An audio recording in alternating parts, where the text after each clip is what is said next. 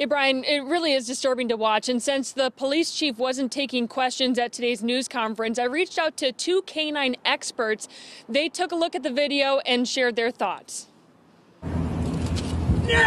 Video emerged showing a Salisbury canine handler scold his dog for exiting the cruiser. But what he did after is now being investigated. It shows the officer clipped the dog's leash onto its collar, swing it over his shoulder before he slammed it into the car and appears to hit the dog. Other officers are heard saying there are no witnesses. I think this was an example of something that you should not do. Roy Taylor has been a canine handler for more than 20 years. He's been a police chief in three different North Carolina cities. I mean, he's cutting off that blood supply and air for several seconds. And then by throwing him in the vehicle the way he did, you know, he, he risks causing some cerebral spine injuries to the dog. Taylor says there are a number of things to factor into this video the health of the dog, the price of the dog, $20,000, 25,000. and the potential damage to the dog's training. Now, going forward, the dog's going to have to reconsider whether he gets out of the car at all. Is your camera on? In the video, you can hear the other officers ask if their cameras are on Hey,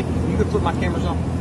And then request they be turned off. The dog Zool and the officer are separated while an outside agency investigates.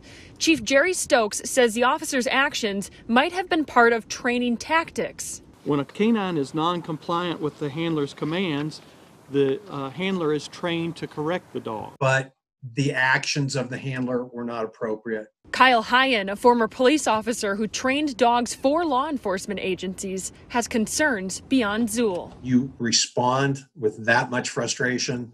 It just makes you wonder what that officer is going to do in a real life situation.